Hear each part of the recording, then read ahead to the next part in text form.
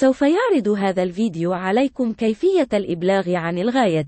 زي. باستخدام أداة رصد إطار ساندي عبر شبكة الإنترنت. تهدف الغاية. زي.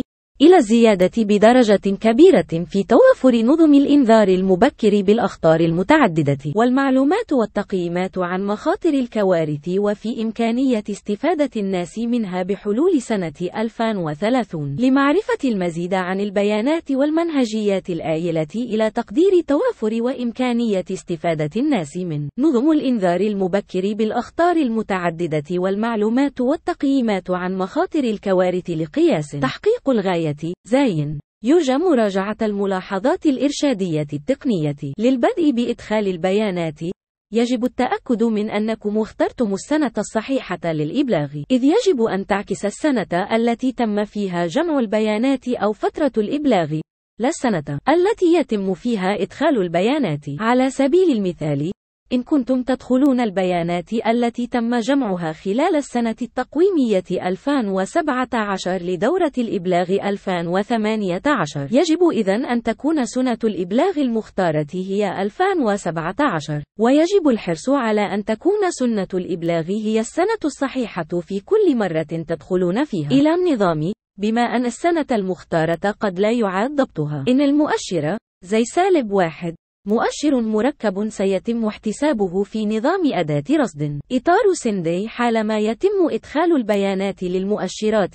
زي سالب 2 إلى زي سالب 5 هذا يعني بألا حاجة إلى إدخال البيانات للمؤشر. زي سالب 1 إن تم إدخال البيانات للمؤشرات. زي سالب 2 إلى زي سالب 5 والنقر على احسب المؤشر المركب زي سالب 1 سيقوم النظام باحتساب قيمة المؤشر زي سالب واحد كمتوسط تقديري للمؤشرات زي سالب اثنين إلى زي سالب خمسة. للبدء بالإبلاغ عن المؤشر زي سالب اثنين يجب على المنسق القطري تحديد الأخطار الكبرى في صفحة التصنيف تحت عناوين الغايات العالمية و الإعداد. إن لم يتم ذلك حتى الآن يجب النقر على زر حدد الأخطار لإيجاد قائمة بالأخطار المحددة مسبقا ووضع علامة. بجانب الأخطار الكبرى ذات الصلة يمكن أيضا إضافة أخطار أخرى عبر النقر على زر أضف المزيد. حالما يتم اختيار الأخطار ذات الصلة ببلدكم سيظهر هذا التصنيف في عملية الإبلاغ عن المؤشر زي سالب اثنين. بعد ذلك يجب انتقاء خيار إدخال البيانات بالنسبة لخيار الحد الأدنى.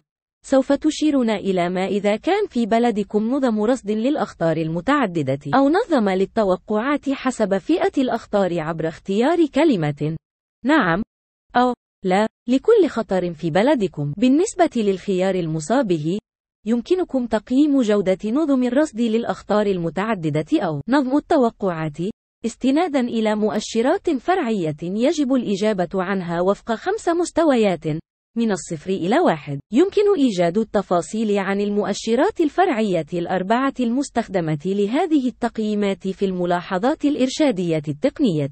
بالنسبة لخياري إدخال البيانات يجب إسناد الترجيحات الملائمة لكل خطر من الأخطار. يمكن النظر في تحديد آثار وترجيحات الأخطار استنادا إلى الآثار المحتملة على المخاطر البشرية أو الطبيعية الخطرة، والسجلات التاريخية، وبعض معايير الخبراء أو الأهداف والغايات العالمية. يجب مراجعة الملاحظات الإرشادية التقنية لمعرفة المزيد عن ترجيحات الأخطار الكبرى وللاطلاع على الأمثلة. ضمن نظام أداة الرصد يمكن إدخال الترجيحات كأرقام من اختياركم. مثلا إن كان بلد افتراضي يعاني من أربع أخطار كبرى جرى تحديدها في تقييمات المخاطر والسجلات التاريخية بكونها تتسبب بمستويات الأثر ذاتها داخل البلد. يمكن إسناد الترجيحات بنسبة 25% لكل خطر بما مجموعه 100% أو 0.25 لكل خطر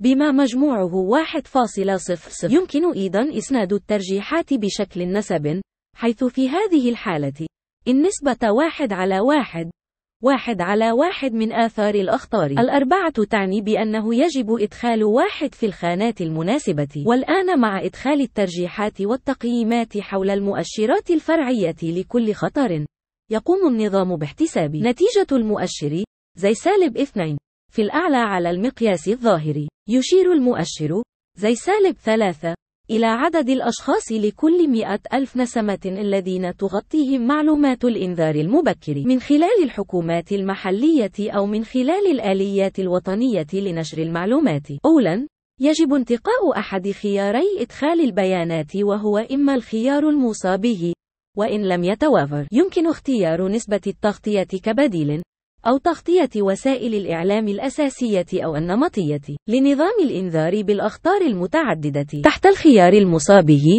يمكن إدخال عدد الأشخاص الذين تغطيهم نظم الإنذار المبكر. يجب إدخال المقام أي العدد المتوقع للسكان المعرضين للأخطار تحت المؤشر زي سالب 6 إن لم تتوافر البيانات عن السكان المعرضين يمكن استخدام مجموع السكان. تحت الخيار الثاني يمكن إعطاء درجة لتغطية وسائل الإعلام بما فيها محطات الإذاعة والتلفزة والإنترنت والبريد الإلكتروني والرسائل القصيرة ووسائل التواصل الاجتماعي والتطبيقات ونظم الاتصالات المحلية بما في ذلك سفارات الإنذار واللوحات العامة والهاتف على مقياس من صفر إلى واحد. حالما يتم إدخال البيانات الضرورية تحت أحد الخيارات وتقديم المؤشر زي سالب ثلاثة. يقوم النظام بإعطاء نتيجة المؤشر.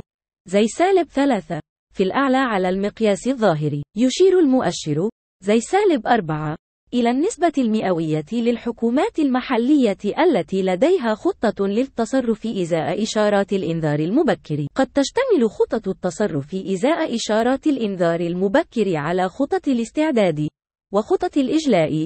وخطط الاستجابة. أو أي خطط أخرى تصف استجابة نظم الإنذار المبكر والإجلاء. ويقترح خيارين لإدخال البيانات. الخيار الأول يتعلق بالحد الأدنى من المتطلبات وهو إحصاء بسيط لعدد الحكومات المحلية التي لديها خطة للتصرف. تعتبر هذه الطريقة سهلة نسبيا.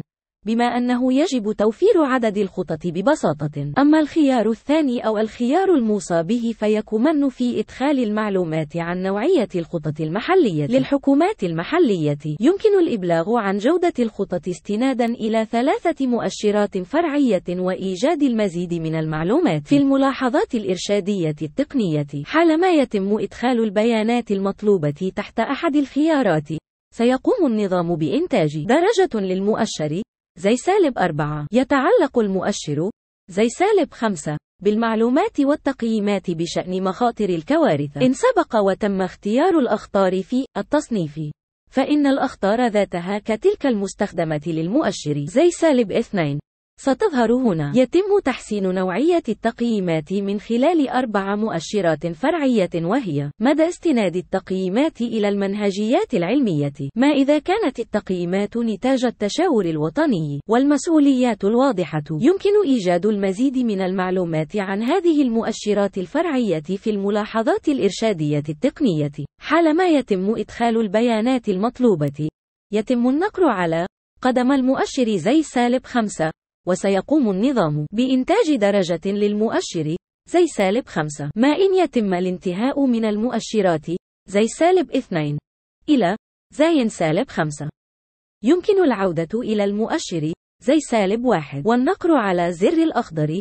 احسب المؤشر المركب زي سالب 1 يتعلق المؤشر زي سالب 6 بالسكان الذين تتم حمايتهم من خلال إجراءات الإجلاء الوقائي التي تتم عقب الحصول على إنذار مبكر بالخطر. لحساب هذا الأمر، يجب النقر على زي سالب 6 ألف وإدخال القيمة لعدد الأشخاص المحميين من خلال إجراءات الإجلاء الوقائي وأيضا كمقام للسكان المتوقع تعرضهم للأخطار إن كانت البيانات المتعلقة ب السكان المعرضين للأخطار غير متوافرة، فإن إجمالي السكان في البلديات والمقاطعات أو المجتمعات المحلية في المناطق الجغرافية المتضررة سيعتبرون من السكان المعرضين حالما يتم إدخال البيانات المطلوبة. يجب النقر على احسب المؤشر المركب زي سالب 6 وسيقوم النظام بإنتاج القيمة إن ارتكبتم خطأ أو تودون إجراء التنقيحات يمكنكم النقر على إعادة فتح المؤشر لإحداث أي تغييرات ثم النقر على قدم المؤشر.